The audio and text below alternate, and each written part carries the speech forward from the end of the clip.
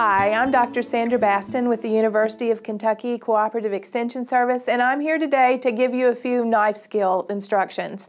Um, knives can be a very dangerous type of thing to use, so you want to make sure that you have good knives um, that are sharp. And I have um, um some really good knives um, that my father bought for me 40 uh, some years ago, and they are um, keeping their sharpness, and you want to make sure that you purchased good knives as well. If you have knives that are dull, there's a possibility that if you do cut yourself, then you'll tear your skin and you won't be able to get stitches. Whereas if you cut yourself with a sharp knife, um, you will be able to uh, re uh, add the the, the finger back. Um, so this is uh, called a chef's knife. Um, it's uh, used for chopping large things or lots of things. It um, has a, a, get one with a comfortable handle, but it should be held like you're holding a tennis racket. Um, I have a tendency to put my finger up here to give myself a little bit more um, control, and then I'm going to simply rock it back and forth with the tip down, and that gives me control as well. So if I have the tip down, I'm going to use the back part of my knife to cut what I'm cutting and then just rock it. I call it I'm rocking the baby, I'm making sure that I'm taking care of myself and the knife. Then we also have um, paring knives, and I have a couple of paring knives that I really love. This one's real expensive, and this one's really cheap. You'll see that both of them, however, have the metal going down through the, the um, center, and this allows for a little bit more um, support and for them to, to last longer um, when you have them. You should probably clean your knives knives um, by hand. I have some I put in the dishwasher, and when they are gone, I um, um, replace them. Then there's also um, a, a, vegetable peeler, and this has all vegetable peelers have a rocking um, head on them so that you can use both sides of the sharpness of the tool. And I'm going to show you how to do that in just a minute.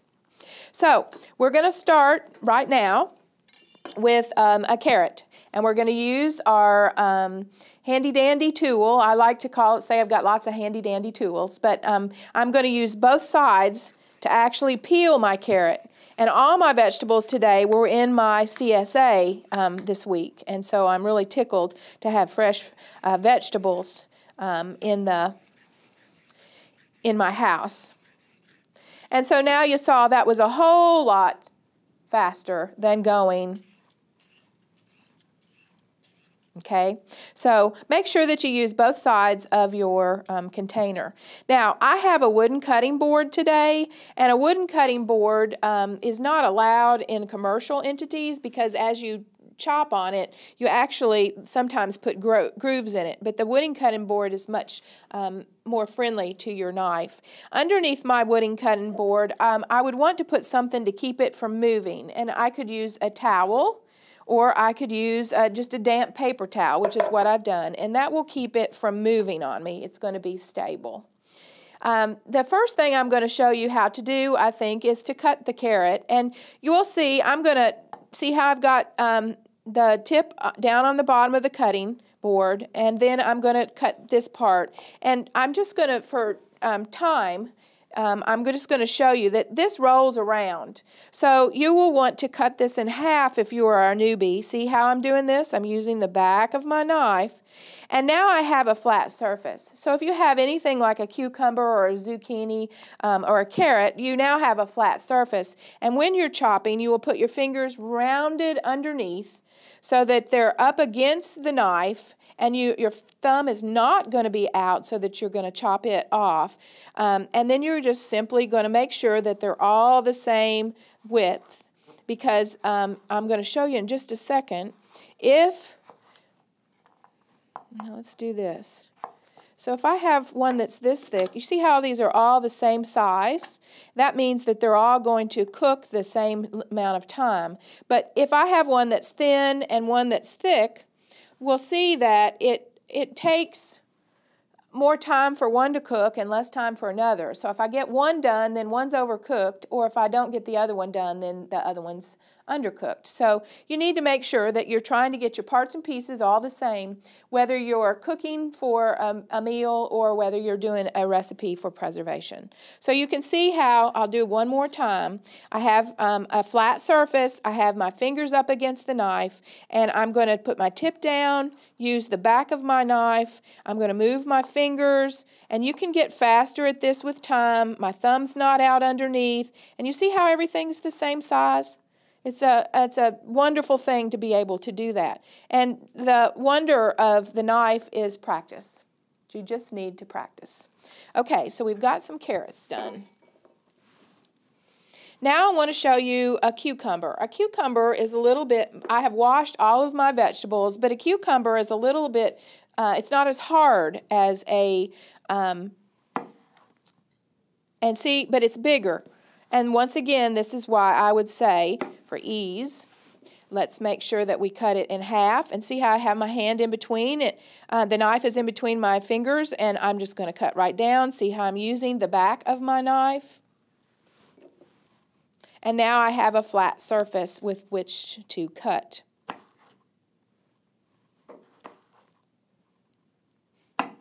And I normally would do just one at a time. This skin is very tough, so we must have had, now, um, a, a, not much rain while this was um, getting ripe. So a lot of people want to do this. They Instead of doing the rock in this way, they just want to chop down. They want to go like this. And you see how I don't have any control when I do that? You see how my tip is up? So you always want to keep your tip down. And you always want, if you have a round product, to try to have a flat surface.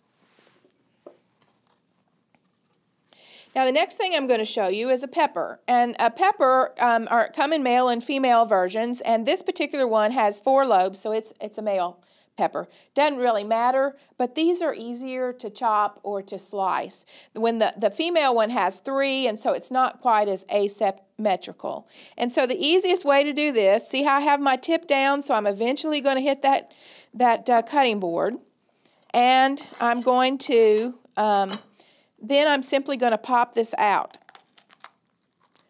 And with it will come the seeds, which I don't need or don't want. They're bitter. Um, I could save them and dry them, and um, if I had extremely good peppers, and then grow them next year. But that's how I'm going to get my seeds out.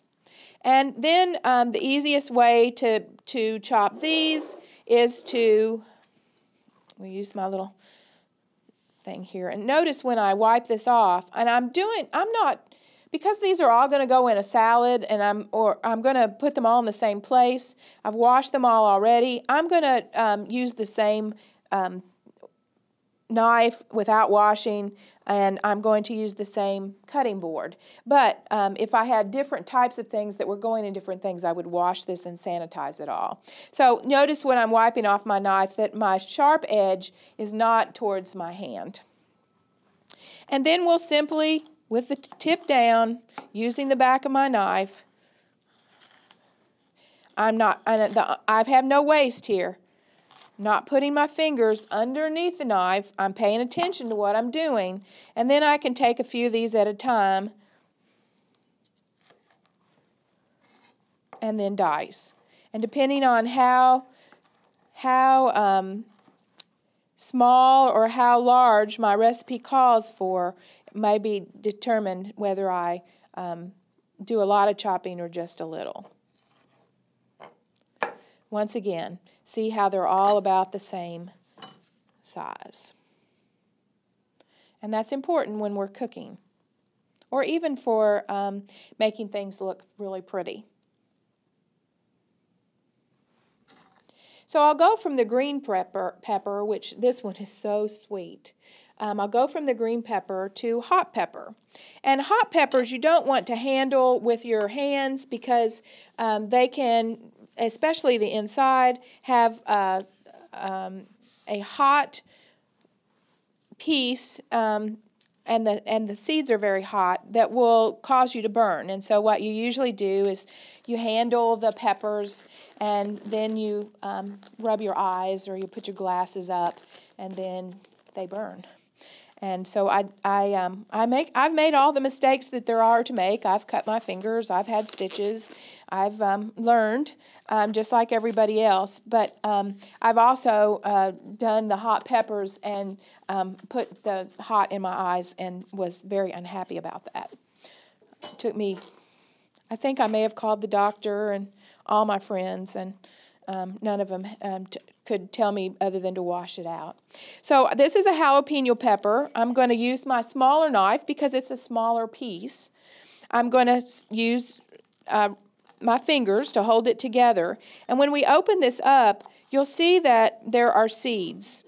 And the seeds um, are very hot, as is in this veining, and we usually remove this unless you were making hot pepper jelly, at which point you would leave it in there. And so, once again, I have a flat surface, and I can even use my little knife if I want to to chop my jalapenos the way I want them, or I can get my big knife back out. Now, um, I would probably want to um, rinse my board um, if I were going to do anything else, or um, my onion would taste like hot jalapeno peppers.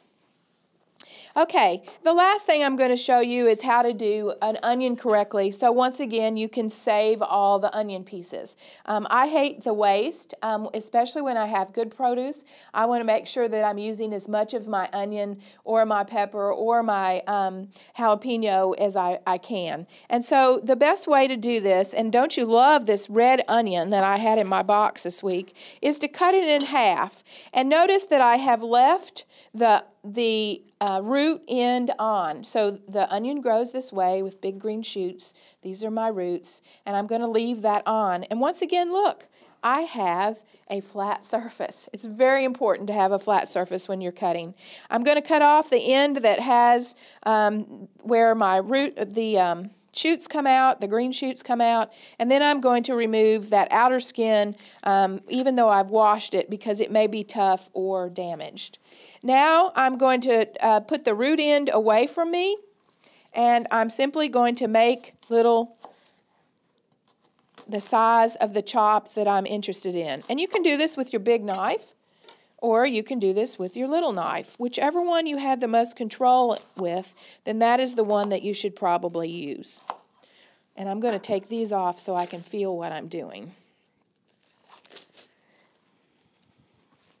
Um, now I'm going to um, slice away from my hand, but I'm going to hold this, but I'm going to slice it till I get to the root. I'm not going to keep going forward.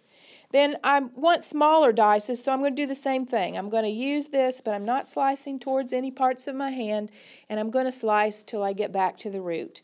Now I can turn my onion Still got it together, my point down, my fingers wrapped underneath so that I don't chop my fingers too.